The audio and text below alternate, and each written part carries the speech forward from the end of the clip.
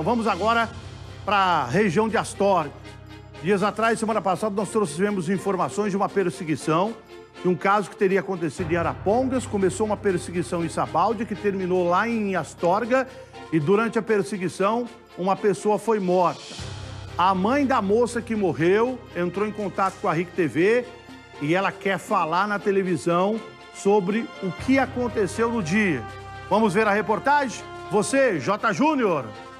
Uma semana depois do ocorrido e a mãe de Thaisa Fernanda de Paula da Silva ainda busca por respostas. Até agora eu não recebi nenhum posicionamento de ninguém, ninguém me falou nada, ainda não estou sabendo de nada. Boletim de ocorrência você não teve acesso? Ainda não tive acesso, o boletim de ocorrência. Ainda não estou sabendo de nada. Na madrugada da última quarta-feira, a jovem morreu em uma perseguição da Polícia Militar em Astorga, município no norte do Paraná. Thaisa estava em um veículo roubado de um empresário na vizinha cidade de Arapongas. Ela foi alvejada por disparos de arma de fogo efetuados pela equipe policial. Eu fiquei sabendo pela mãe e a irmã do rapaz que ele tinha sido apreendido e a Thaisa tinha sido baleada. Que ela estava no hospital, só que não sabia qual hospital que era. Aí a gente saiu de Santa Zélia para ir para Astorga para buscar o meu netinho. Aí foi que o, o rapaz do hospital me ligou que o, o médico do SAMU tinha socorrido ela e estava no hospital para me fazer um acompanhamento. Aí lá eu fiquei sabendo que ela tinha entrado em óbito. E eles te contaram o que no hospital? Que ela chegou agitada no hospital e teve uma parada cardíaca. Eles tentaram reanimar por 30 minutos, mas ela não resistiu.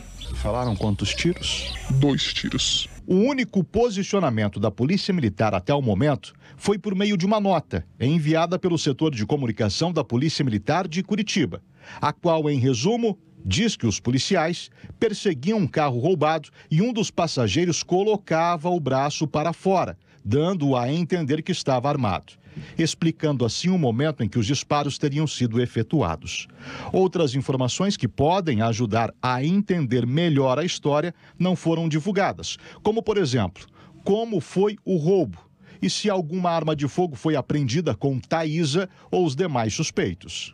Muito difícil, porque eu gostaria muito de saber o que aconteceu, porque ela foi uma injustiça, ela não correu, eu queria saber o motivo por causa dos dois tiros que ela levou. Uma câmera de segurança que pertence ao município de Astorga registrou o final da abordagem que resultou na morte da jovem.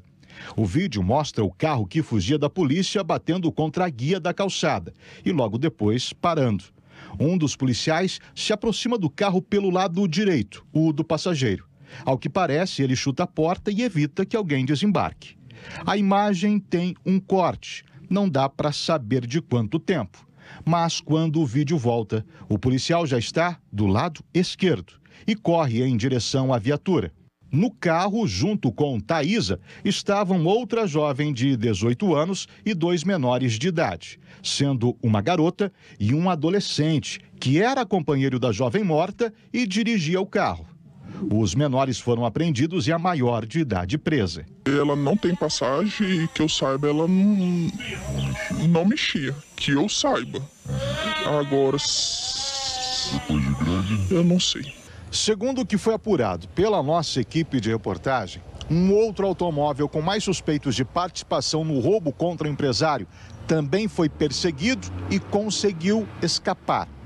Nele estavam um suposto cadeirante de rodas que está sendo procurado, uma adolescente que também fugiu, outra menor de idade que logo depois se apresentou à polícia e foi apreendida, e o filho pequeno da jovem morta, um menino de apenas três anos e meio de idade. Ele chegou, é, uma amiga, que se diz amiga dela, pegou ele com uma moça que estava na esquina da escola. Thaisa foi sepultada um dia depois da morte em Astorga. O filho dela continuará com a avó, que segue em busca de respostas. Só Deus mesmo para me manter de pé e eu estou de pé mesmo pelos outros filhos e para procurar justiça. Por ela. Nós entramos novamente em contato com a Polícia Militar, que manteve a mesma nota, finalizando dizendo que toda a documentação referente ao caso já foi encaminhada à autoridade judiciária militar para apuração por meio de inquérito policial militar. Já a Polícia Civil não retornou aos nossos contatos.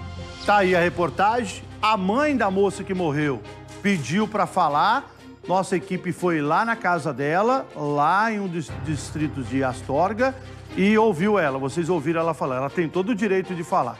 O que ela está questionando é por que, que não apresentaram a arma que estava no veículo, já que houve, falaram que houve o confronto. Cadê essa arma? Até agora não, não trouxeram a arma, entendeu? O veículo era roubado. Foi roubado aonde? De quem? Entendeu? Então são perguntas que são feitas que até agora a polícia não conseguiu responder. Tem essa imagem do momento onde aconteceu ali a abordagem, que está com a polícia também, e o caso está sendo investigado. É como eu falei, alguém da polícia poderia dar uma entrevista, pelo menos para esclarecer tudo, falar para a família, eu acho que deve o direito de chamar a família lá, a mãe, vem aqui no destacamento, vamos conversar que eu vou explicar para vocês o que aconteceu. Eles merecem uma resposta também. Como tem muita pergunta que não foi respondida, aí todo mundo fica querendo saber o que aconteceu lá. Inclusive os promotores de justiça que já estão sendo acionados pela família também. E a família falou que vai procurar até o GAECO